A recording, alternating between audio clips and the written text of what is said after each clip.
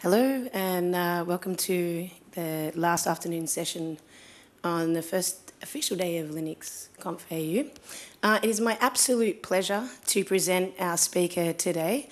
Um, John Sullivan is here from the Freedom uh, Free Software Foundation, and I think we've all in this room probably understand and know who FSF is. If not, John will tell us a little bit about it um, and dive into his topic. Thank you, John.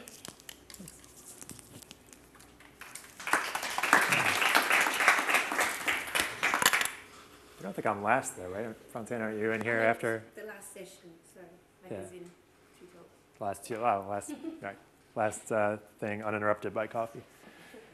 Um, hello, everybody.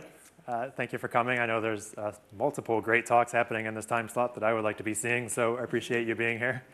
Uh, my name is John Sullivan. I've been at the Free Software Foundation since uh, 2003. Um, I've been the executive director there for the last seven years. And this is my first time in Australia and my first time at LCA. Uh, so it's been uh, really awesome. I've always observed this conference from afar and been jealous and wanted to find a year when I could finally come. Um, so this is wonderful. And also, it's, uh, it's really great to meet so many new people um, because I haven't been here before and there's you know, such a great regular attendance at um, this event. Please feel free. I'll be here till Saturday. If anything that I talk about um, strikes your interest or you want to hear more about it or you have some ideas for us, uh, please don't hesitate to grab me during the coffee break and introduce yourself. I'd love to meet you.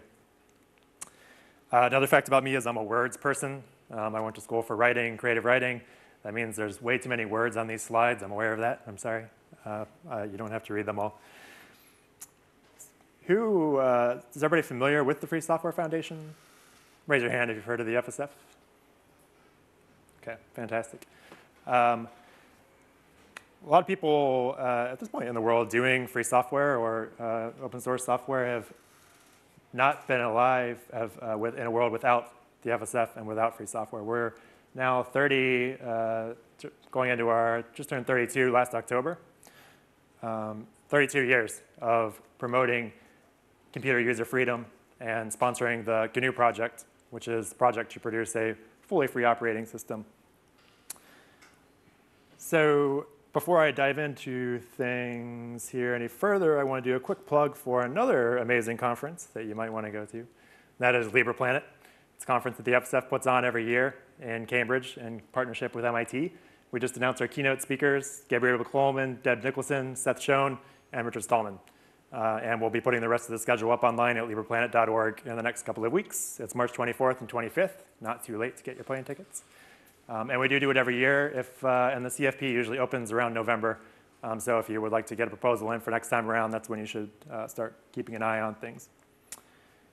And this conference and all the work that we do is geared towards our, our mission. And I, I like to put this at the beginning, even for people that are familiar with the FSF, um, because uh, it puts everything else in context. We're not just out here to promote free software as a, a good kind of software that we hope people will use more of. We're actually working to make sure that computer users can do everything that they want to do on any kind of computer using only free software. Um, so in our perfect world, that means there is no proprietary software. Uh, all software that users run on any computer, whether their mobile device, you know, telephone, tablet, in their car, uh, all of that software should be freely uh, modifiable. They can inspect it, they can redistribute it, um, those things should apply to all the software that they use. So it's not just about promoting free software as a, a better kind of software um, and helping it interoperate with proprietary software that's out there. It's about, in the end, replacing everything that's proprietary. And I think this differentiates the FSF from a lot of other organizations working um, in this space. You know, a lot of uh, the people that we work with and who do great work uh, are just focused on things from a different angle. They're just trying to bring more free software in the world and, and help people see how good it is, but they're not as concerned um, as we are, or as focused as we are on uh, replacing all of the proprietary software. And so that's, you know, we're going to talk about freedom embedded today, and, and that's what I mean by that is to every place where we have software embedded, you know, we need the freedom uh, along with it. And I'm going to look at some of the ways where that's not currently happening. You know, why what we currently have is more like control embedded, surveillance embedded, restriction embedded, um, and all these places where we have software right now, and what we can do about changing that. And even though we're called the Free Software Foundation, we are concerned about user freedom. Uh, and user freedom can be affected by a lot of different things. Uh, it can be affected by um, the hardware that you're using. It can be uh, affected by you know, rules that are imposed on you about things you can do with any kind of object that's running software. Uh, we're, one of the most important factors in user freedom, though, is the terms that govern the distribution of the software itself and the terms of use for the software itself. And that's what, what we focus on. We don't think that that's the entirety of the problem of protecting user freedom. We know that there's a lot of other kinds of work that needs to be done in free hardware um, and other kinds of space in order to truly have people be empowered by the technology that they're using. But the software component of it is what we focus on. And we do think that it's one of the most important components out there. Uh, free software is defined by the four freedoms, which I think people here are, are generally familiar with. But just to go through them quickly, we have the freedom to run the program, freedom to study how the program works and change it, freedom to redistribute copies, freedom to redistribute modified uh, versions to others. So in order to be free software, and when I say that, I mean any software whose license terms allow all of these things. Uh, and there are, even though this is a familiar definition to many people in our community, there are many, there's a couple big misconceptions floating around that I like to address. I've been telling myself that as soon as I go a year without hearing any, either of them, I'll stop talking about it. But um, they have to do with the difference between free software and uh, open source and free software and commercial software. Um, so one thing I hear a lot is that free software is copyleft, like the GNU General Public License, and open source is permissively licensed software like Apache or people call MIT or expat. Um, that's not true. What's open source is defined by the open source definition, uh, maintained by the open source initiative, and what is free software uh, is what meets these uh, criteria here. If something meets these criteria here, it almost certainly also meets the open source definition and vice versa. Um, so when it comes to the actual software and talking about the licenses, um, there's very little difference. And it is not a difference between copyleft and permissive. And the second thing I hear, unfortunately, a lot is, is people contrasting free software with commercial software. Say, well, we can't put this under a free license. Uh, we need to distribute it under a commercial license. Uh, what people mean by commercial in that context is proprietary, uh, that it's software that, for example, you're not allowed to modify or redistribute. Um, but in fact, in order to be free software, you have to allow commercial use of the software. Uh, licenses which say you may not use the software for commercial applications, that's not free software. That's a restriction on freedom zero, uh, the freedom to run the program for any purpose. It's also a restriction on freedoms two and three to be able to share the program for any purpose, which includes commercial purposes. So now that we have those things out of the way, um, I try to correct it when I see it, and I hope you'll do the same thing because it's needless kind of confusion. So the subtitle of this talk is Devices that Respect Users and Their Communities. So it's not, uh, this means that we're not just talking about developers um, who need to have the freedom to change the software that they're using in their project. Um, we're talking about users and the impact that whether a program is proprietary or free has on their lives. And we know already that free software is not just for programmers because Android, um, as of the first quarter in 2017, had 86% of the market share uh, in the smartphone space. It's the largest operating largest install base of any operating system of any kind. Uh, and it is at its core free software. So free software has been being used by lots of people who, in fact, don't know that they're using free software. If you walk up to one of those uh, 2 billion users on the street and ask them if the uh, software that they're using is free or proprietary, they probably will either guess proprietary or not understand what the question means. Um, but nonetheless, they're using it. However, at the same time, nearly all of these people are also using Google Play, which is a proprietary application to install other applications. Um, and they're also using probably lots of other proprietary software since every Android device that you can actually purchase comes not only with the free Android base, but also with proprietary software, uh, both for drivers to help to make Wi-Fi, Bluetooth, GPS, graphic acceleration work, and also to uh, like Google Play um, and other proprietary applications that the different distributors uh, slap on there. So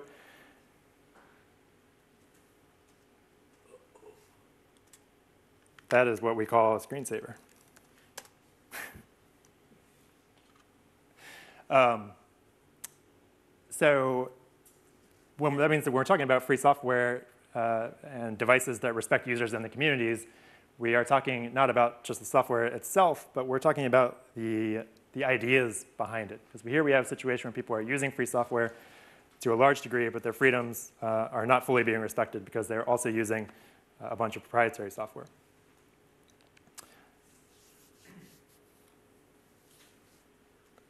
Bad things happen uh, when people are using proprietary software, and I'm going to go through a few examples of those.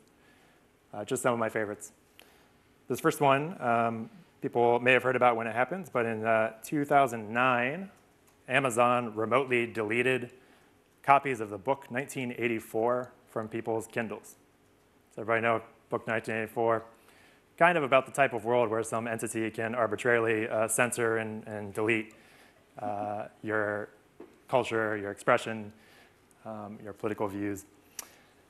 So, you know, I didn't, I wasn't exactly happy that that happened. I was working as a campaigns manager at the FSF at the time, and we were campaigning very hard against DRM and Amazon.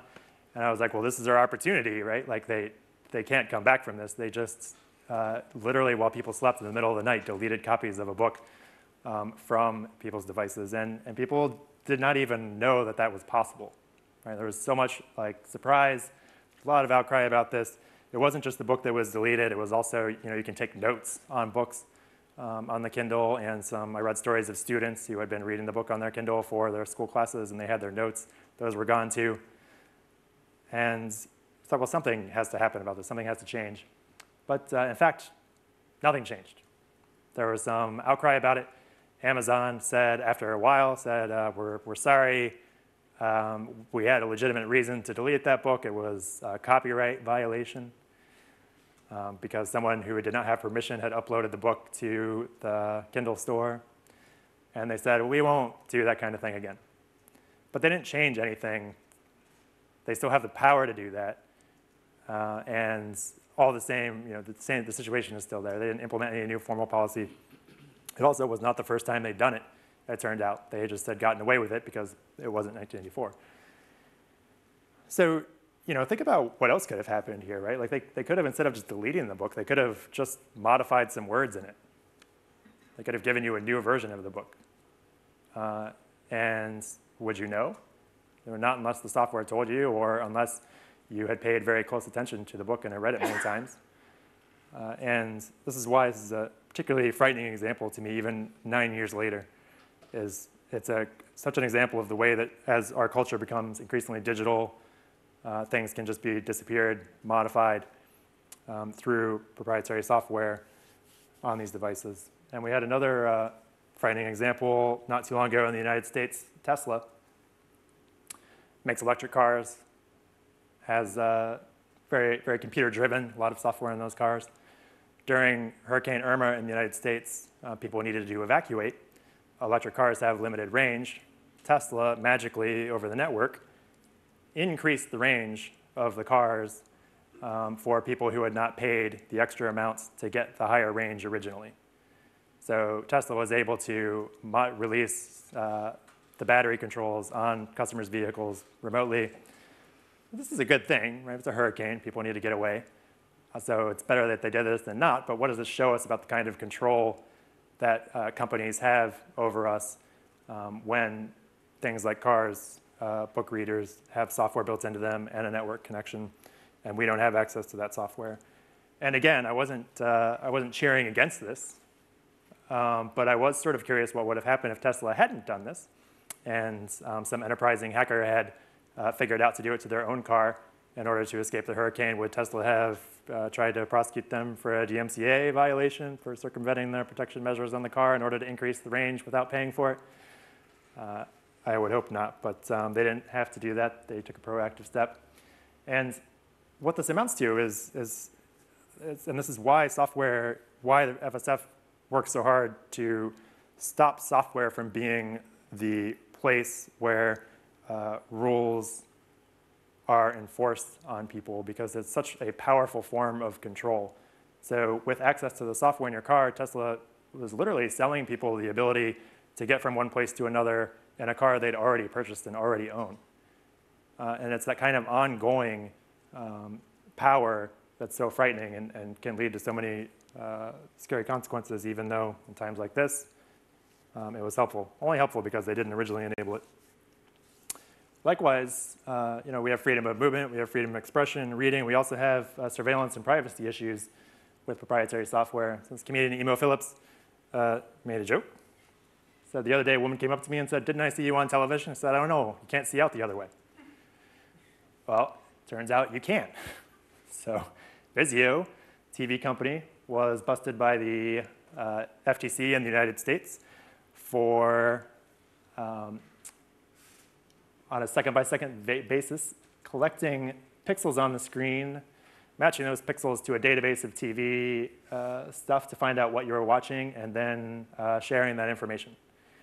So Vizio was watching you um, and was looking for ways to uh, monetize that information. So you know, this is basically just 100 billion reminders why you need to be completely in charge of the software on that big computer, which people call a TV, um, sitting in your living room.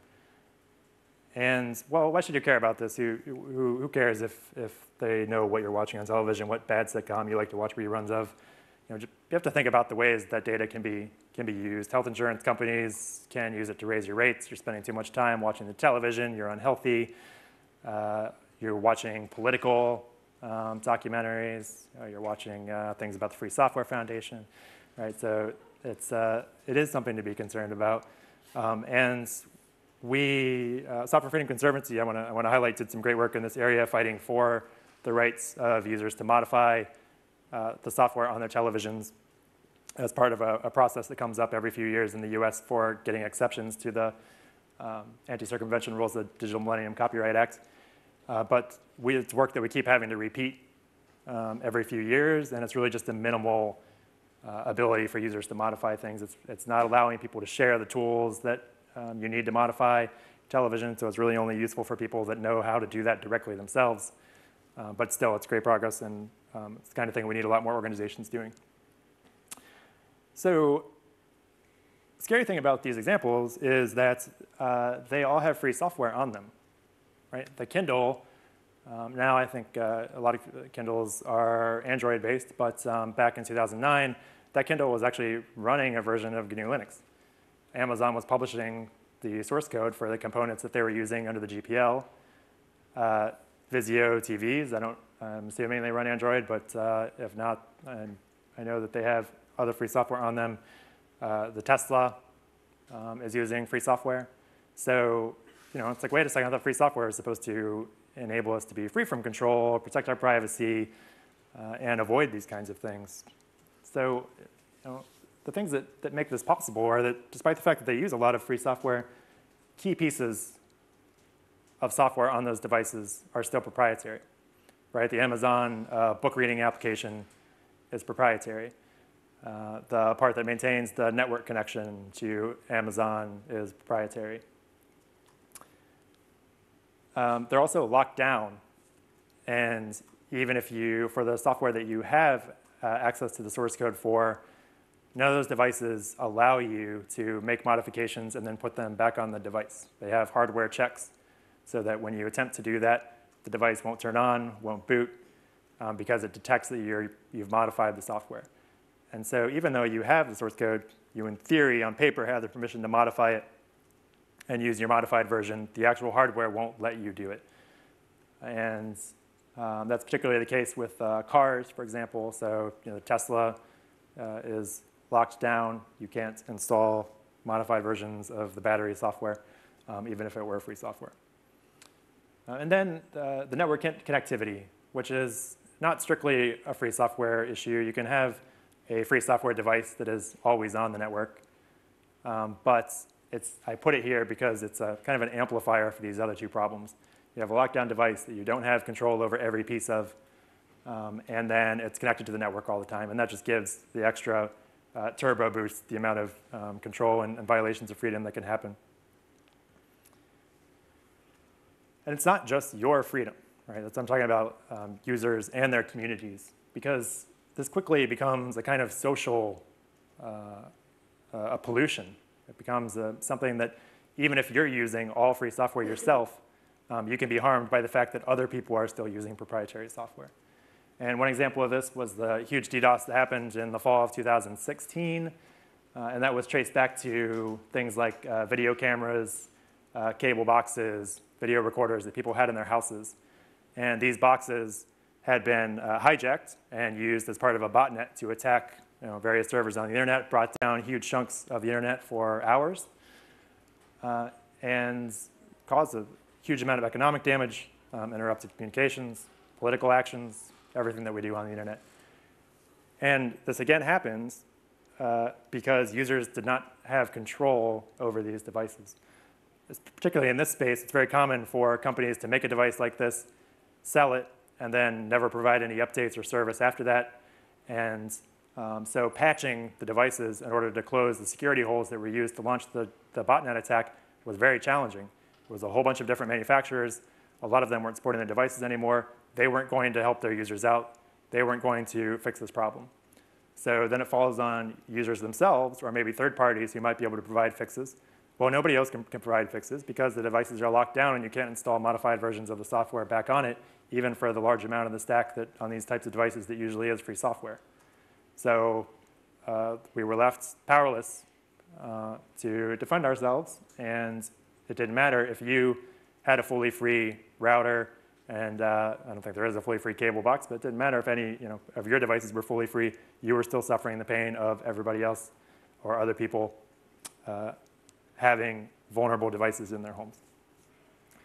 And whenever we talk about this, and I think as free software advocates, it's really important to not overstate the security of free software. Okay, that's not the point here. Free software also has security vulnerabilities.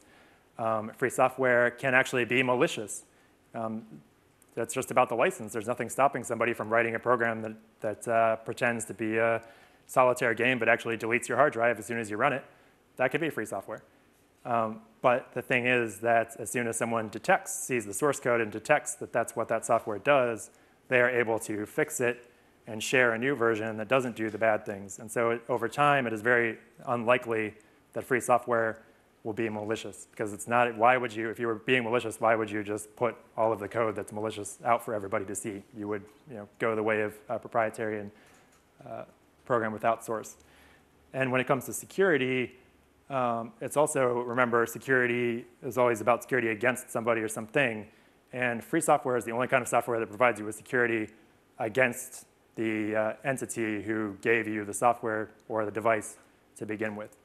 So Apple lately especially has been getting a lot of props for their security, way better than Android. Uh, it's uh, harder to break the encryption, you know, lots of uh, positive press for them. Well, the, the problem with Apple is you don't have any security against Apple because you're not allowed to install any non-Apple software on your device. You're not allowed to uh, replace iOS with Android if you wanted to. Um, there's no other app store out there that you can switch to, so you have to trust Apple completely. And that's the kind of security that free software provides for you. You can always, if you don't like the person that's providing, the company that's providing you with software, um, you can switch to somebody else. And it's that kind of economy that enables you to actually have, over time, uh, full security.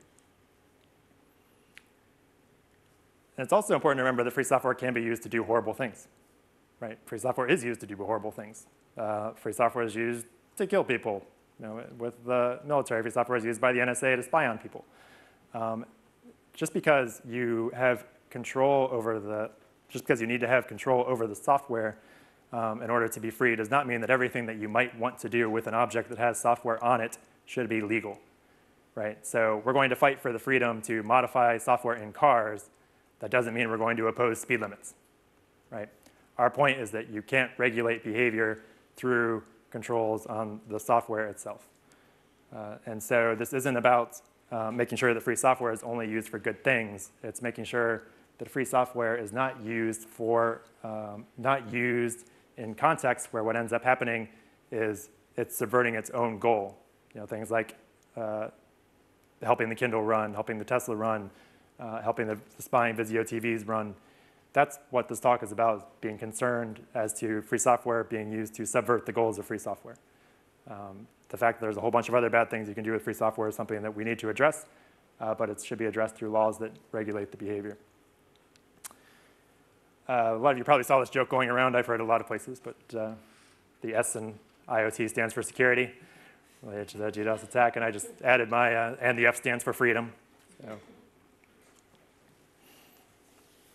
there's a bunch more examples of uh, bad behavior like this. We collect them on gnu.org slash proprietary. And uh, this is why, these examples are why we want things to be all free and not just mostly free. Is because anytime there is a, a piece of proprietary software on something, that piece is a, a foothold, you know, an attack surface that can be exploited, especially when it's in a situation like Amazon or Tesla, where the company who owns that software has the ability to update it and modify it over time. Because even if all the software was originally was a Wi-Fi driver, um, if that gives Amazon access to your device, they can install new kinds of proprietary software. They can make the proprietary software that's already there do different things. Uh, and so it's not enough when it comes to our freedom to have something that is mostly free software. And in fact, one of the points I'm trying to make here is that sometimes um, it can be worse for our freedom if we have uh, more of the software on a device be free. If what that software is being used for is actually to make distribution of a particularly particular proprietary software uh, quicker and more efficient, cheaper for the company that's distributing it. Uh, we know that companies respond to profit motive. Um, it's not the only thing that all companies respond to, but we know that it matters to them and, and, that one way to get them to change their behavior is to make business cases to them to explain why doing something is better for their bottom line. Um, so if we think about these issues from that angle, uh, what can we do to encourage companies to, to do better, to have to uh, make and sell fully free devices, um, and how can we encourage people to support those companies and support those devices? Uh, so you know, we have a, a, strategy that we've been working on and, and, and following in order to uh, achieve that and the overall goal of having a fully free world. And um, it starts with teaching basic computer literacy. And this isn't teaching everybody to be a programmer. Um, not everybody needs to be a programmer. But I like to make an analogy to food and cooking. Um, when you go to a restaurant, you have a, an understanding of what's happening in the kitchen. You know how, that there's multiple people working together to prepare your food. You know that uh, if it's not done under the right kinds of conditions, like uh, the right temperature, uh, in a clean environment, you know, things can happen that can make you sick. Um, you know that if you really like a dish at a restaurant, you can try to imitate it at home. You know that if you think something has, needs more salt, you can add salt to it. Um, so these are just basic facts about food, right? And they don't mean you're a chef. They don't mean you can actually cook anything, but you understand things about how your food is produced. And I think just this level of knowledge about computers and software would go a really long way to helping uh, be, to help us be able to explain to people why free software is important. Um, if, they were, if they understood that free software is made by, if they understood that all software, not just free software, all software is made by uh, usually groups of people working together, um, and that if they don't follow good practices, uh, bad things happen to them, then we could open that conversation about why they should support this kind of software development over that kind of software development, even if they have no intention to ever modify code themselves um, in their lives. And uh, I think also that people, we, we underrate the degree to which people do care about other people's freedom. Um, we, we face uh, some pushback sometimes where people say, like, you know, I just, I don't, I know what I'm giving up when I use uh, Photoshop or whatever piece of proprietary software. I'm fine with it. It's not a big deal to me. Uh, and we focus on that, that sort of uh, self-interested motivation and how do we convince people that free software is better for them well, that's a really hard, you know, that, that can be a really hard sell if someone doesn't have any intention to modify a program on their own. Why do I care if I can have the source code? I can't read it. I'm not going to modify it.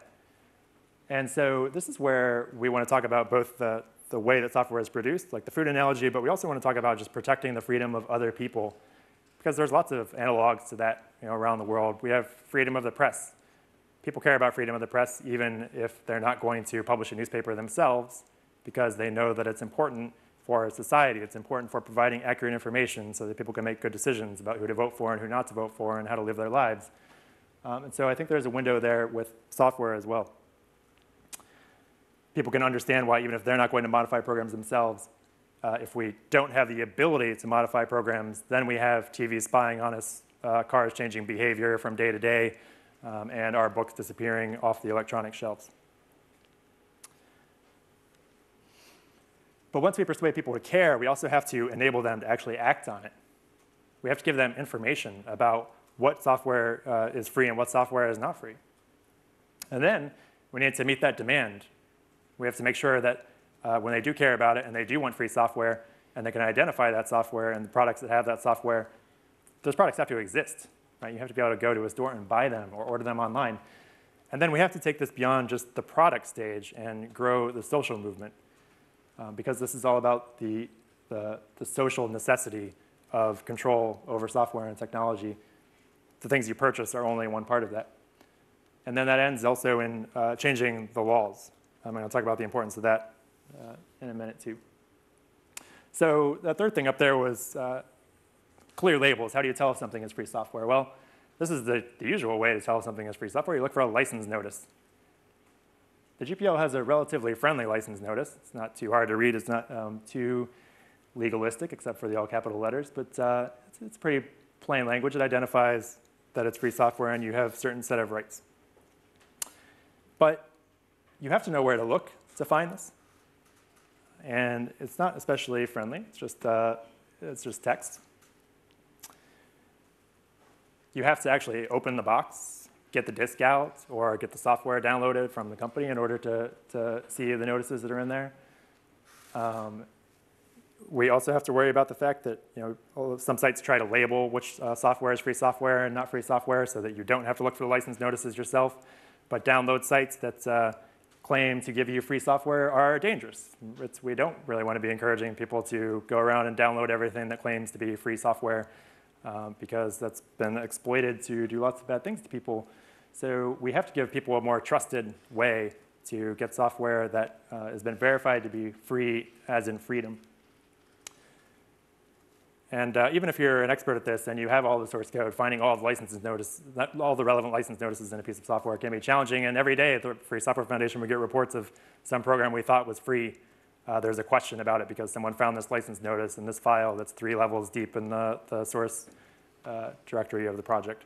So this is not trivial. And the FSF provides uh, directory.fsf.org where we vet software and make sure the license notices are correct and that they're uh, free programs. And if they are, they can be listed in our directory. Um, and so that way, that's one way we're helping users out with this. Um, other program, other uh, repositories like F-Droid uh, for Android also try to provide clear information about um, programs that are free. Unfortunately, lots of other popular places that distribute software do not, do, which distribute a mix of proprietary and free software, don't do a very good job of telling users what's free and what's not free. Uh, Google Play does not identify which programs are under a free license and which ones are proprietary. The Mozilla extensions repository for your browser um, has very unclear license notices. Often for an extension, it'll say custom license, and that's the secret word for proprietary. Um, so overall, the situation's you know, kind of a mess. So what can we do for people to make this clearer? When it comes to purchasing things at the electronics store, uh, we can have labels on the outside of a box. This is an example of a label on a box from a router. This product may contain material licensed to you under the GNU General Public License or other open source software licenses. Upon request, open source software source code is available at cost from Linksys for at least three years from the product purchase date. For detailed license terms and additional information, look at linksys.com slash GPL. So that's, that tells you that it's got free software in there. It doesn't tell you that it's all free software. 10 minutes, okay. were like, you were telling me to stay still or something. Um, that doesn't tell you if it's all free software or, or what proprietary software is in there. Uh, and the other problem I have with this is, uh, and I, I don't want to make criticize this too much because it's good that they uh, put this notice on the box after we sued them because they uh, had failed to do so. But to me, this label sounds a lot more like uh, this. Warning, some products sold in this store contain chemicals known to the state of California to cause cancer, birth defects, or other reproductive harm. Like this looks like, that does not look like you know, something that you want. Um, so we want friendlier labeling. So uh, this is one example I look to. This is called the Leaping Bunny program by Coalition for Consumer Information and Cosmetics. And this uh, label is something that you can put on your product if it is not tested on animals. Uh, and it's uh, relatively successful. It's on a lot of products. It's um, you know, a lot of shampoos, things like that. Next time you're in the store, take a look. You'll probably see a few of them. So what's the analog for this when it comes to software? You know, what, what can we do for electronic devices to indicate when they are all free software and respect user freedom and uphold these ideals. Well, This is what we came up with at the FSF. It's the Respect Your Freedom certification program. And our goal is, uh, like the Leaping Bunny, or like uh, on the darker side, the Windows certified logo, uh, we, you can only display this mark if the product meets um, certain criteria. This is a per product label. It's not for a company as a whole, um, we, and it's not for a particular chipset that many companies might sell. It's to certify each product as sold by a particular company, and that'll become, uh, the reasons for that will be clear when we go over the criteria here in a second.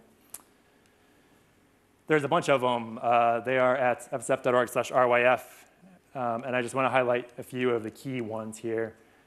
The most important one is the one that I've been repeating, and that's the 100% free software requirements. If you sell a router, if you sell a laptop, sell a Wi-Fi adapter, you can only have the mark if all of the software on the device is free software under a free license. Um, you also have to allow user installation of modified software, so it can't be locked down. Um, and so, you know, the, the Kindle, the, the Tesla, they, they, can't meet that criteria. Um, no spying or backdoors. Uh, we don't do a full security audit on these devices before certifying them. We do uh, check for uh, some things that we know about, um, and that gets more thorough over time. But we have this rule in here because uh, if something comes to light that there's been a problem with a device, we can revoke the certification on the grounds of the security issue because we do want these devices to not just be running free software, but also be things that um, are, uh, don't harm users in, in other important ways.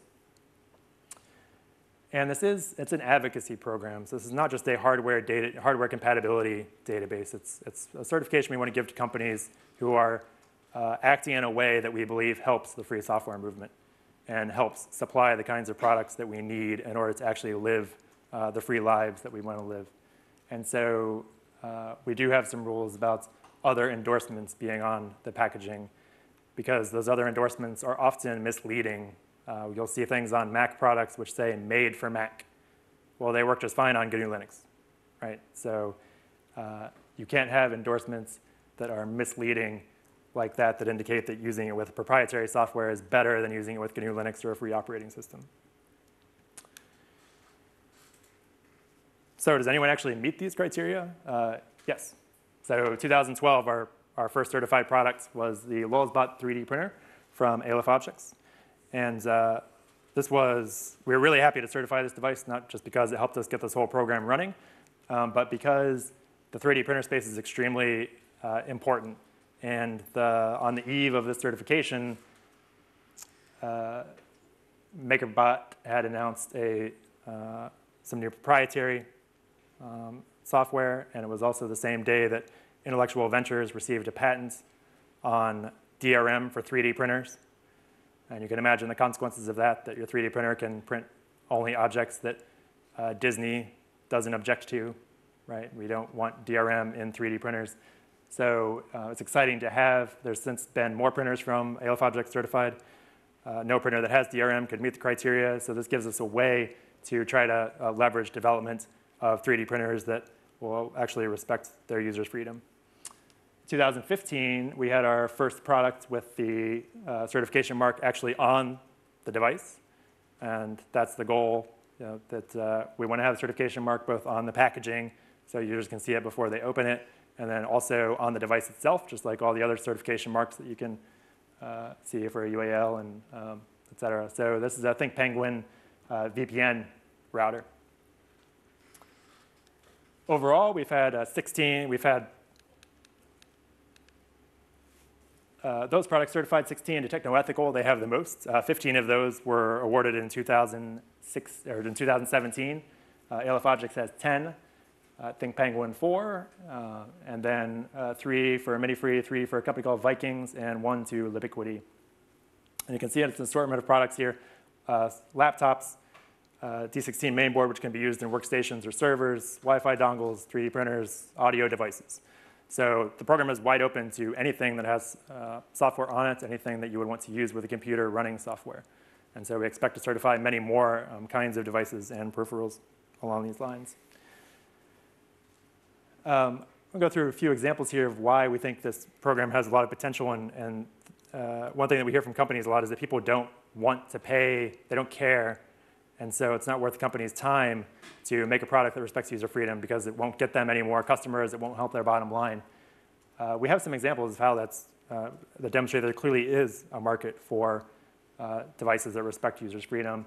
The Purism laptop uh, does not actually meet the criteria, uh, but I put it up here because the way that they marketed the laptop was heavily focused on uh, respecting your rights, and that's what they distinguished themselves on.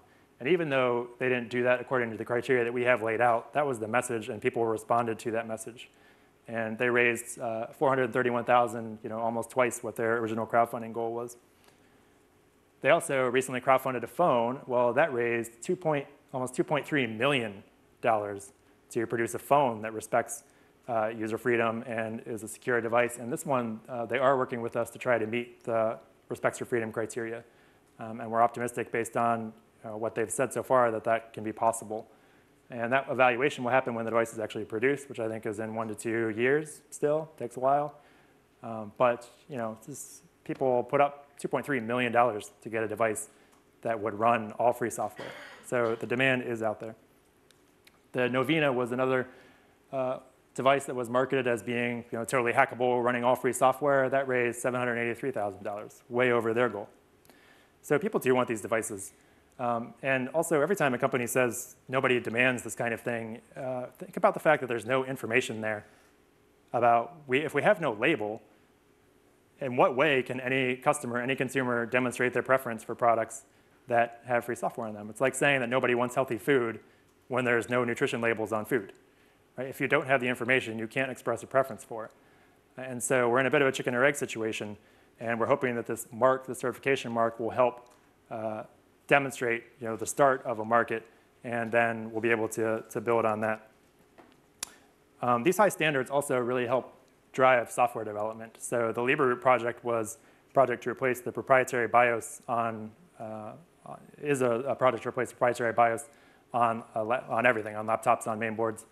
And it was originally started in order to meet the RYF criteria for a laptop. Uh, sometimes people think our standards are too high, or we're asking too much, or we should give levels, you know, four stars, three stars, five stars. Uh, and you know, we are, all, we are always thinking about those things. But examples like this show that when you keep the standards high, uh, people do things to meet them.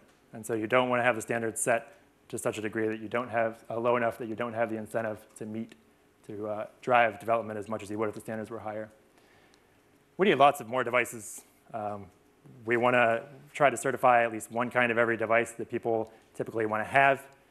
Uh, but there's new kinds of devices coming out all the time, virtual reality, wearables, medical technology we definitely have our work cut out for us. We have a lot of barriers to overcome. Um, the two I want to highlight are basically the general lack of driver support on mobile devices for things like Wi-Fi, Bluetooth, um, and graphics, and secret software buried deep in computers like the Intel Management Engine, which is in every ThinkPad uh, made since 2007. The program is doing really well. Um, the sad thing is we are the bottleneck. The FSF has more applications to review than we have time to review. Uh, we really need more support in order to be able to work through those. We're really aiming to scale the program up this year, and that's going to take resources. Um, we are a member-driven organization. People, we depend on individual donations. Uh, if you can help, please do. This is the type of work that your donation will fund. Uh, and I also hope you'll buy and use these devices. Sometimes they cost a little more, but it's worth it to support companies that are trying to do the right thing.